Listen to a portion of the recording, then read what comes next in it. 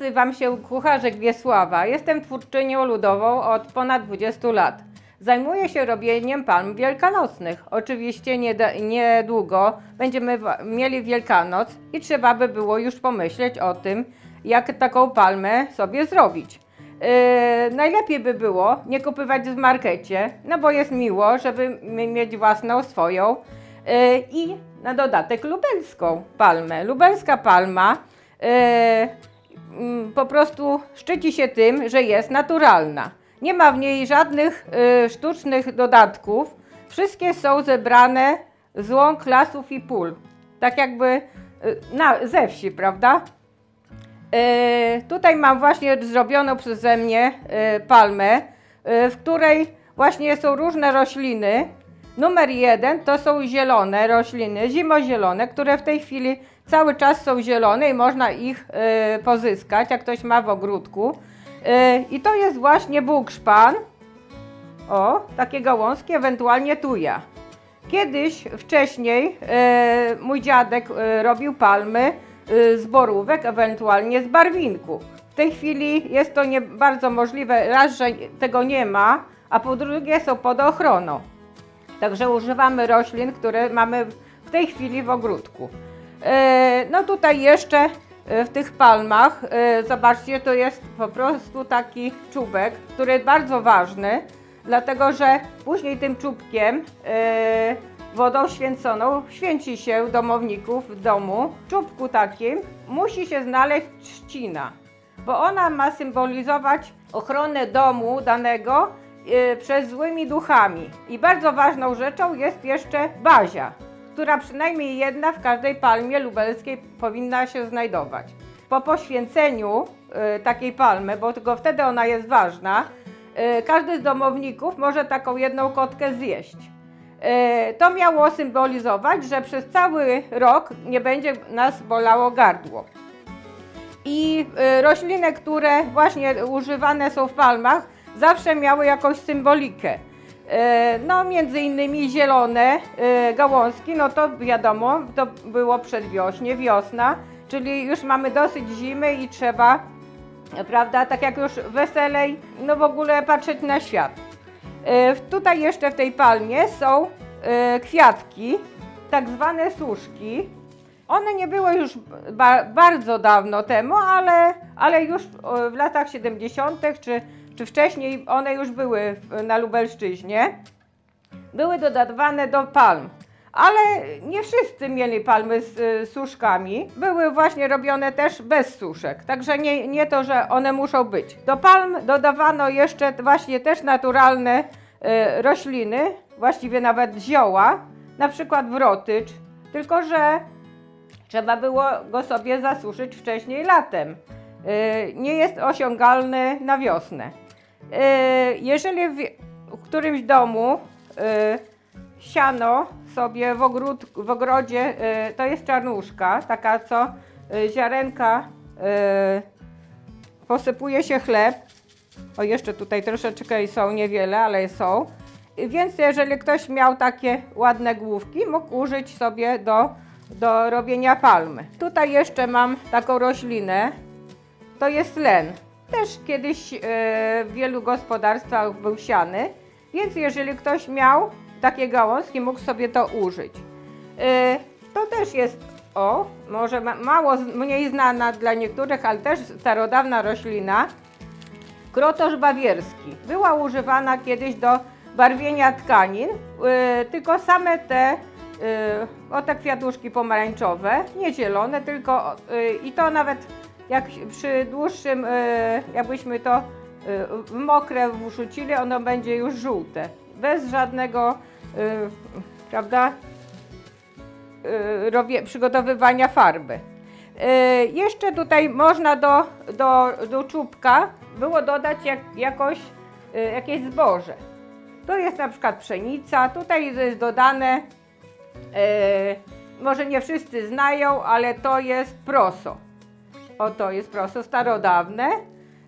Tutaj mam na przykład w czubku jeszcze o, jest owies. Tutaj mam właśnie pszenicę, ale może być jeszcze żyto. Yy, jak kto po prostu coś ma. E, No i może tyle by było o, o palmie, byśmy się zajęli teraz, jak tą palmę wykonać. Tutaj wcześniej zrobiłam sobie tak zwany czubek. To jest właśnie y, zbiór trzciny, różnych y, trawy, y, zboża y, i bazi związane w jedną całość. Z, takim trzankiem tak zwanym. Do tego trzanka przywiązujemy nitkę, bo ona będzie cały czas nam potrzebna, bo palmę się wije, prawda? Czyli ją jakby okręca cały czas aż do samego końca.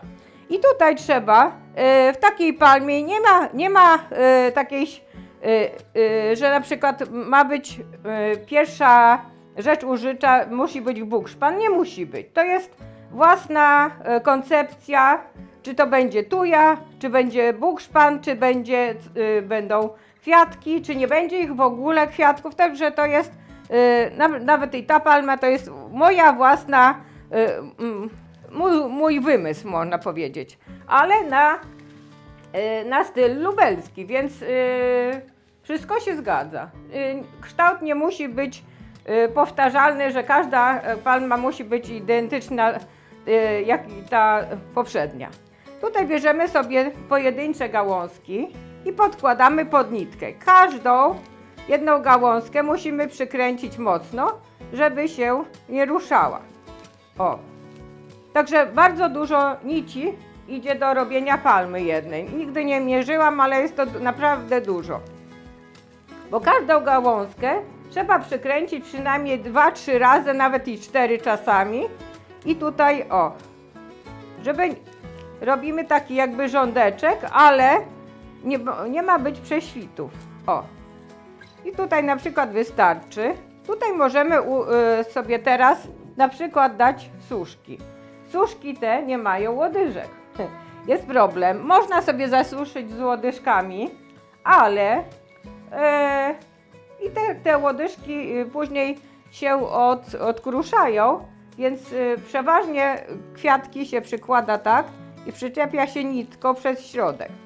O, najlepiej jest to zrobić nawet automatycznie, że, że zrobimy cztery czy, czy ileś tych kwiatków, tylko tak delikatnie, żeby ich nie zniszczyć oczywiście. Nie można tak na siłę tego robić. O.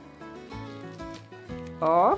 Ta nitka ma się tam wtopić w tło tego kwiatka i będzie prawie niewidoczna. O.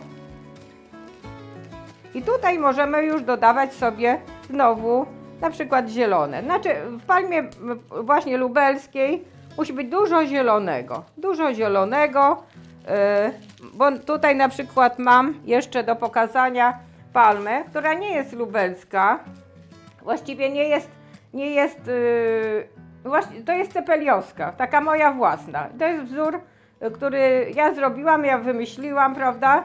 E, ale takie palmy też są ładne, tylko że to nie jest palma lubelska. I ona tutaj ma właśnie kwiatki bibułkowe. To jest tylko to po prostu tak przyszło, e, taka moda, ale to nie jest nasza, pol, nasza lubelska. O tutaj bukszwan staramy się dawać tak, o, żeby nie zakryć całkowicie kwiatków. Można używać mniejszych gałązek, żeby troszkę były widoczne, bo wiadomo, że jak ładne to trzeba to odkryć. O. Po, po je, jednym, po dwa.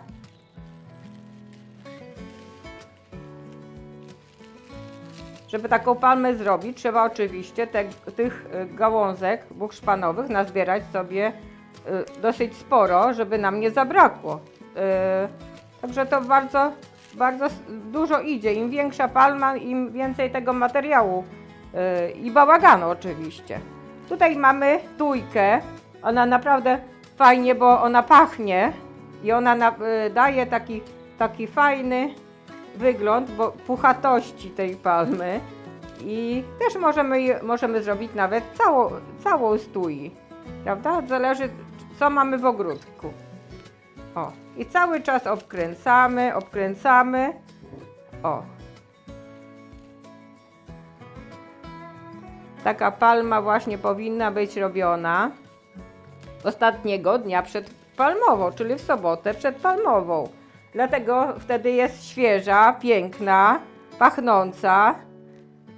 Yy, właśnie yy, mój dziadek kiedyś yy, robił palmy. Właśnie nawet jak nie miał kwiatków takich, to, to jeżeli yy, wiosna na to pozwalała, to czasami można by było yy, wkładał tam jakiegoś żonkila albo kwiatka, który pierwszy zakwitł, zakwitł, prawda? Ale czasami była zima, no niestety i nie było żadnych kwiatków, więc, więc palmy były gołe. O, tutaj mamy tak i możemy zrobić znowu znowu gałązki zielone.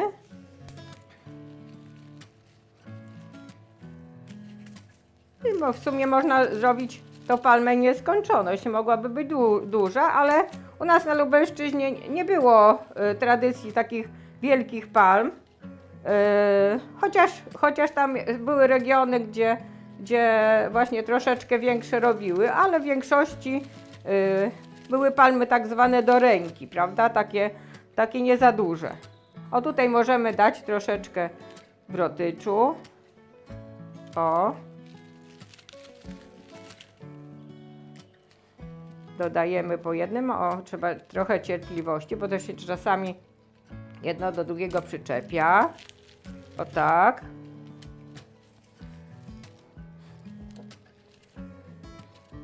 On też powinien być y, zasuszony w takiej fazie y, dobrego rozkwitnięcia, tak jak o to już jest przekwitnięte, dlatego już jest brązowe.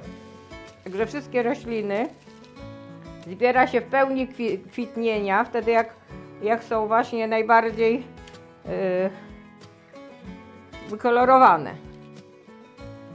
O. Tak, i tutaj, y, żeby nie będziemy robić tej palmy dłużej, y, będziemy próbować je już zakańczać, tylko żeby to właśnie ładnie było, prawda? Więc dodamy sobie cienie, gdzie takie większe gałązki. O.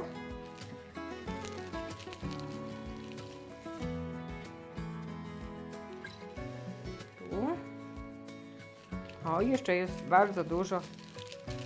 Trzeba to wszystko robić mocno. To jest bardzo ważne, bo jeżeli zrobimy to bardzo lekko, to palma później nam y, się rozpadnie w kościele albo przy y, jakimkolwiek machnięciu. Także to są właśnie nici takie bardzo mocne.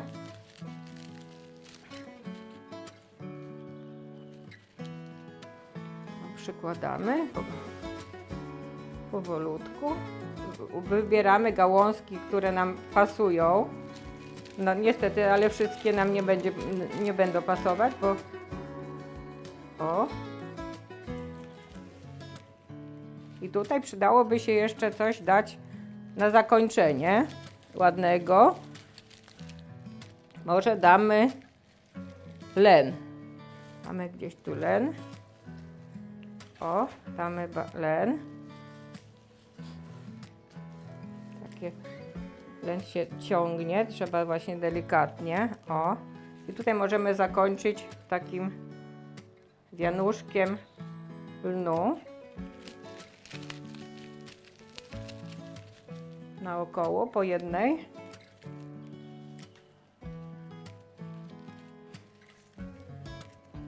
O się zaczepia. Więc taką palmę każdy może we własnym zakresie sobie zrobić. Z roślin, które ma, mogą być, może być bez kwiatków, samych, samych zielonych nawet gałązek, prawda? I to będzie nasza lubelska. No to każdy na pewno będzie zadowolony, że będzie miał swoją własną. O, tutaj trzeba już, jak mamy cały rządek, bardzo mocno kilka razy ściągnąć. Ja to tak zaciągam, żeby mi się nie to nie. I teraz będę robiła tak zwany trzanek. O, tutaj.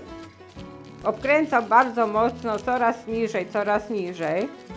Zatrzymuję się w miejscu, ile chcę mieć tego trzanka długości, więc tutaj się zatrzymuję. Ucinam sekatorem. O, ile chcę mieć. Resztę